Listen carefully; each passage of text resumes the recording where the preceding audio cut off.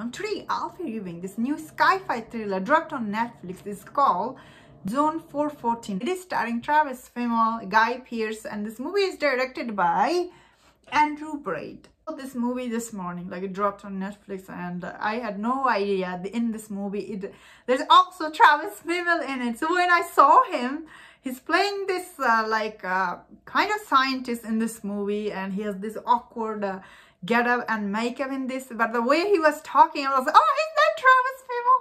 I was really surprised by him in this movie although this movie centers around David played by Guy Pearce. So in this movie uh, you see David gets hired by Matilda Bade in this movie. He's like this scientist who created this zone called 414 where all the android lives there. Yeah this movie story is actually quite similar to like when you watch it some of the characters and uh, although the way this movie stage yeah the way this movie stage and the production design looks similar to blade runner but actual story they are telling trying to tell here it is like kind of like a westworld although they don't have westworld budget uh, because in this movie, the Bade character, Travis Fimmel, he played in this movie. When you hear his thought in this movie, you can see he's actually playing kind of like a Anthony Hopkins character in Westworld. He sees uh, this some of this android. He's like particularly one of them he's very close to. He thinks he, she's very special. Uh, same like in Westworld. Uh, again, it's not very well written like Westworld.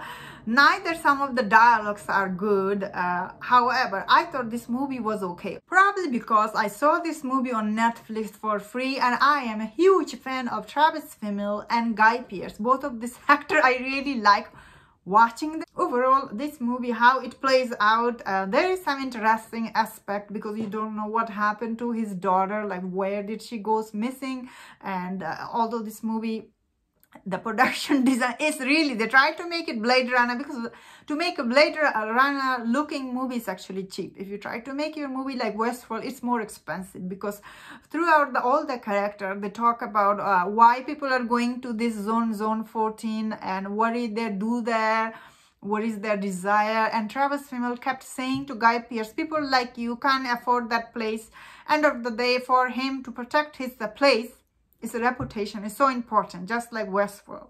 Even in Westworld, people go there, do stuff with the AI, and some of the AI start gaining consciousness. That is what this movie tried to do here, uh, but unfortunately, it wasn't very good at uh, storytelling. Uh, but I wouldn't say this movie is as bad as other people say. Uh, as I was saying, there is some interesting aspect that I found it interesting, and it's free on Netflix. If you watch it free, it's not that bad but if you have to pay for it i understand it. Is waste of your money. Uh, although i wish the uh, the villain was a little bit more uh, effective the villain guy the travis Fimmel's brother he's in this movie. Like the minute you meet him and all the i'm like oh it's so obvious he's the villain.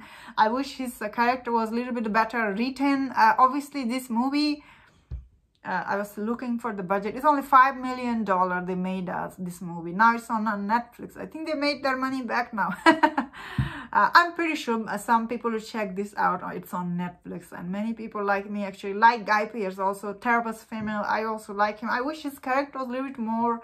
Although he was saying some interesting stuff.